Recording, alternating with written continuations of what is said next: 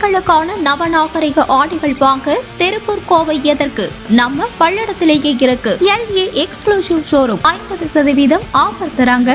Miss பண்ணாம எல்லோரும் வாங்க. தஞ்சாவூர் தமிழ் பல்கலைக்கழகத்தில் பதிமூன்றாவது பட்டமளிப்பு விழா நடைபெற்றது.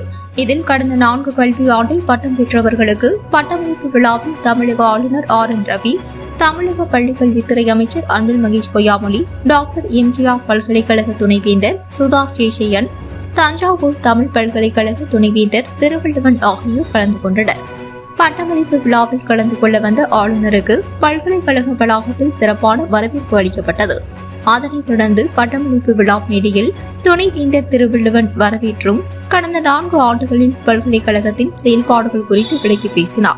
இதில் நானூற்று ஐம்பது எம்பில் பட்டங்கள் முப்பத்தி இரண்டு டாக்டர் பட்டங்கள் நூற்று பத்தொன்பது முதுகலை பட்டங்கள் இருநூற்று ஐம்பத்தி ஏழு பிஎட் பட்டங்கள் உள்ளிட்ட பத்தாயிரத்து எண்ணூற்று நாற்பது பட்டங்களை தமிழக ஆளுநர் ஆர் என் ரவி வழங்கினார் அதனைத் தொடர்ந்து ஆளுநர் ஆர் என் ரவி மாணவர்களுக்கான உறுதிமொழி வாசிக்க பட்டம் பெற்றவர்கள் ஆளுநர் முன் உறுதிமொழியை ஏற்றுக்கொண்டனர் உலக புகழ்பெற்ற தஞ்சை பெரிய கோவிலில் ஆண்டுதோறும் சித்திரை திருவிழா பதினெட்டு நாட்கள் நடத்தப்படுவது வழக்கம்.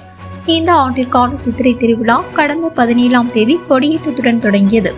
விழா நாட்களில் தினமும் காலை மாலையில் சுவாமி புறப்பாடு நடைபெற்று வருகிறது. முக்கிய நிகழ்ச்சியான திருத்தீரோட்டம் வருகிற மே ஒன்றாம் தேதி நடைபெறுகிறது.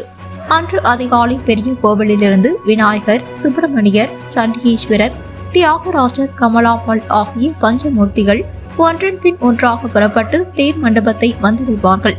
அங்கு தியாகராஜர் கமலாம்பாள் மற்றும் தேரில் எழுந்தருளி பக்தர்களுக்கு அருள் பாலிப்பார்கள் அதனைத் தொடர்ந்து தேர் படம் பிடித்தல் நிகழ்ச்சி நடைபெறுகிறது.